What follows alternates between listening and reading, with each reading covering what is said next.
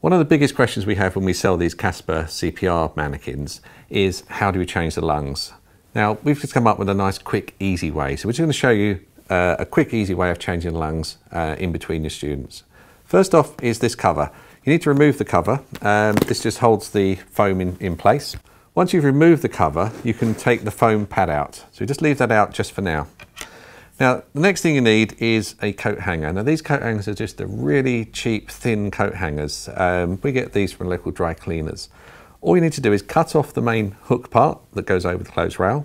On one end, just put a little folded loop so you can put your finger to pull through. And on this end, just fold it so there's a very small um, curve on it and then put tape around. And it's important you put the tape around because you are going to poke this inside the mannequin. You don't want a loose end to be catching on the mannequin, which could potentially damage it. So next thing is to look at the lung bag. The lung bag itself is a plastic bag. Uh, on one end it's sealed and the other end it's open. So we need to make sure we put it in the right way because we want the open end by the nose. So the very first thing you do is just take the small end you've made on the coat hanger, insert it up the nose. If you squeeze the nose to the side, uh, pinch the nose, you'll actually open it up more. Once that's done, the coat hanger will come through at this end. Then take the bag itself, fold it over just a few times just to make sure you're not putting a twist in it. That's one problem you'll have when you're using it with students. If you have a twist in it, the air's not going to go in. And then just take the open end through the loop, just catch it back just a small amount, and then simply from there, you just pull it. And just pull it so that the plastic bag just comes out the end.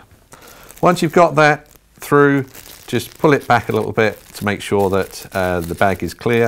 And if you have got a twist in it, you can just literally pull it backwards and forwards. That will take the twist out. Pop the plastic inside, push the foam back in place, take the plastic cover and then insert that back.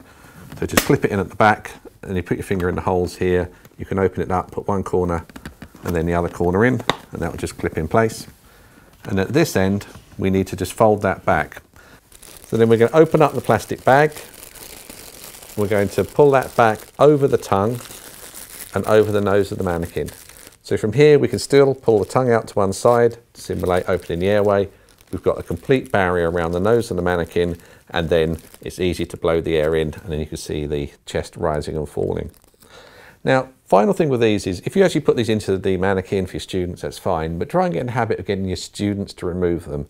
And if you get them just to remove the mannequin here, and if they just pull out the bag, and then they can tie a knot in it, and then your students can take those and pop them straight into the bin, so you're not messing around with any uh, plastic bags which have got uh, any of their saliva on it.